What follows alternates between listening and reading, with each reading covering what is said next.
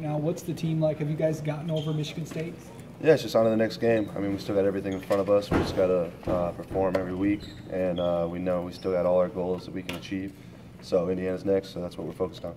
When you watch the film from Saturday, what are some things that stand out as you try to diagnose the issues with the offense right now? Yeah, it was just sloppy. I mean, we played a sloppy game. Uh, I mean, everyone can see that, and uh, we just got to focus on tweaking all the little things and uh, making sure we're ready for Indiana. Were there any specific areas for the offensive line that you think you could focus on improving? No, we just got to focus. We just got to be better.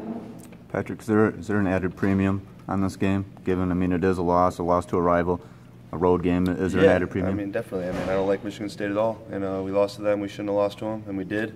But uh, you know, it's on to the next game, and we still got all our goals in front of us. Indiana's a team that's given you uh, problems over the years. What do you What do you think about? There's a new coaching staff there. There's a new quarterback. What do you think the challenges are of defending that kind of thing? Yeah, I mean, they run a uh, great offense. They're a fast-paced offense. Uh, defense has always been pretty stout. They got a lot of guys returning. Uh, we got to start watching the film on them, and uh, you know, we just got to take every game uh, one by one. Coach mentioned Karan Higdon having a pretty good game. He seems to be hitting the holes well. What are you seeing out of him when you watch the film? Yeah, I love the way Karan runs. I mean, he runs the ball hard. Uh, he's great in pass protection, which is huge for a running back. And uh, you know what you're going to get from him every time. So, uh, yeah, love Karan in the backfield. Was there anything Michigan State did Saturday that maybe you weren't expecting? Wasn't on film? Any new blitzes? Anything? No, no, everything we expected. Uh, we just got to play better. Do you think the weather played a factor in the game? No, football's football, regardless of the weather. Patrick, what's, what's your guys' level? John, John during the post game said he took full responsibility for the three interceptions. Seemed, you know, kind of. No, it's not his fault. I mean, it's a team game. Uh, we all got to play better. I mean, yeah, we can't have turnovers. That's on all of us, though. It's not on him. It's on us at all. What's your guys' confidence level with him? 100%. He's our quarterback. You know, got to have 100% in your quarterback, and I know he's going to play better next game. Are there any adjustments you have to make when you go from uh, a quarterback who's going to kind of roll out a little more and get out of the pocket like John? No, not a lineman. You just block to the whistle. Uh, you got to do that every week, every game, every play. So, yeah. Do the older guys have to kind of take the younger guys aside at this point and say, "Hey, it's one, and you know, we don't let it turn into more." You know, uh, Coach Harbaugh made a great point beginning of the year. Uh, once you get on the field, you're everyone's a everyone's an older guy, so we kind of taken that. I mean, obviously, as a fifth year, try to rally the troops a little bit, but I mean, everyone's mature now. Everyone's everyone's got to you know sack up and just it's it's time to go. Is it to the point? I mean, just lost to Michigan State aside, you guys still four and one team, still you know, top 15, 16 in, in, the country right now. I think 17, whatever. Is that, I guess, when you're explaining the message, you know, okay, the season's not over, still.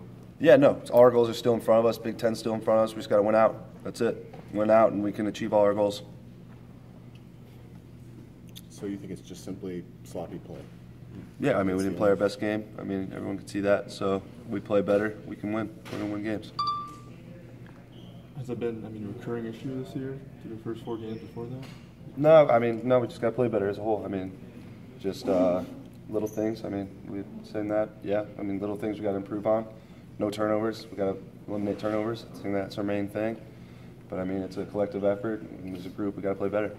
Can you talk about rallying the troops? Like, what's the message that you think they need to hear? No, it's just it's just time to go. I mean, it's always been time to go, but you know there there can't be any more errors now. It's just we got to win out. It's plain and simple.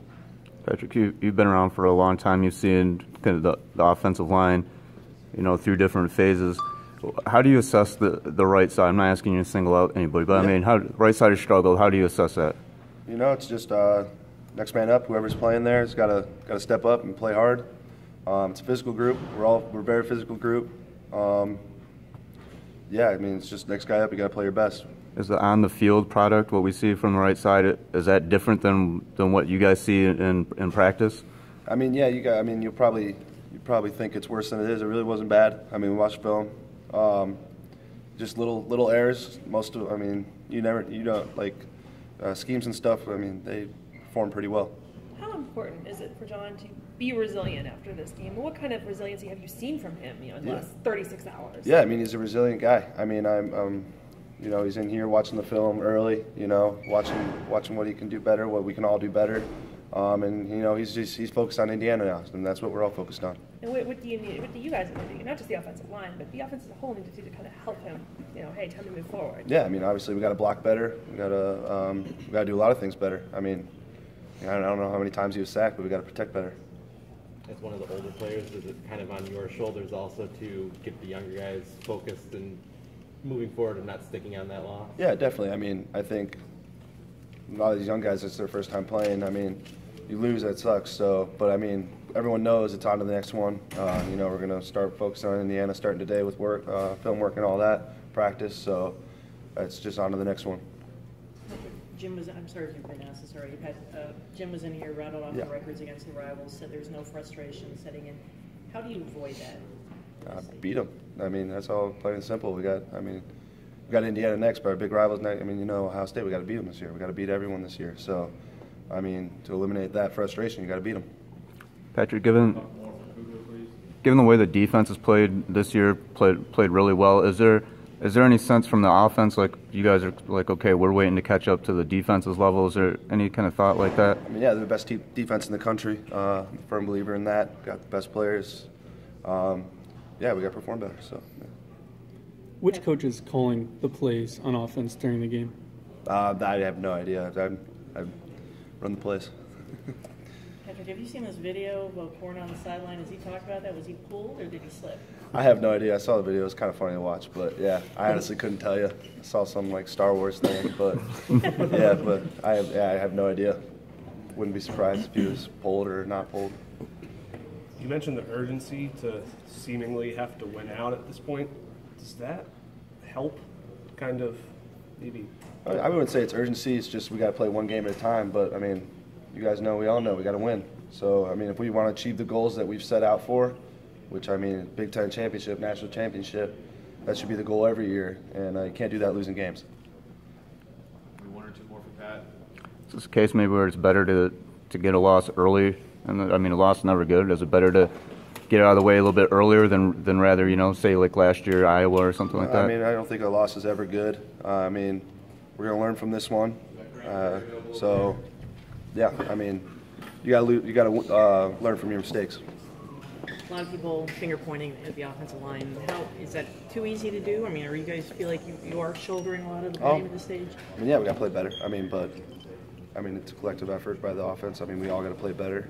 But as an offense, we get, as an offense line, you want that pressure on your back, and you want to be able to uh, say you either won or lost the game. So, I mean, I want to be able to say when we won, yeah, the O line played great. So.